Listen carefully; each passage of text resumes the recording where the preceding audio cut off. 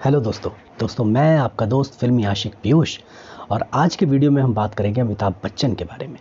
दोस्तों अमिताभ बच्चन ने अपने करियर में बहुत सारी अलग अलग तरह की भूमिकाएँ निभाई लेकिन फ़िल्मों में उनका नाम विजय उनके करेक्टर का नाम जो था वो काफ़ी खास रहा क्योंकि 20 से ज़्यादा ऐसी फ़िल्में हैं जिनमें अमिताभ बच्चन ने विजय नाम का किरदार निभाया।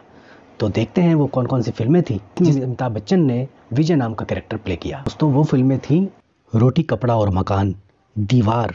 Zanjeer Hera Pheri Don, Trishul, the great gambler, Do Aur Do पाँच, काला पत्थर, दोस्ताना, शान, शक्ति, आखिरी रास्ता, शहंशाह, अग्निपथ, अकेला, एक रिश्ता, आँखें, निशब्द, रण, बुढ़ा होगा तेरा बाप।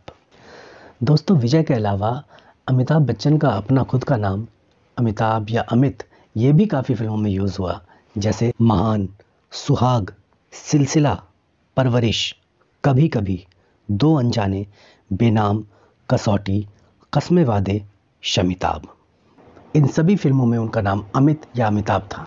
तो दोस्तों, इस वीडियो में इतना ही। आगे की वीडियो में फिर से किसी रोचक किस्से के बारे में बात करेंगे। तब तक बाय बाय टेक केयर।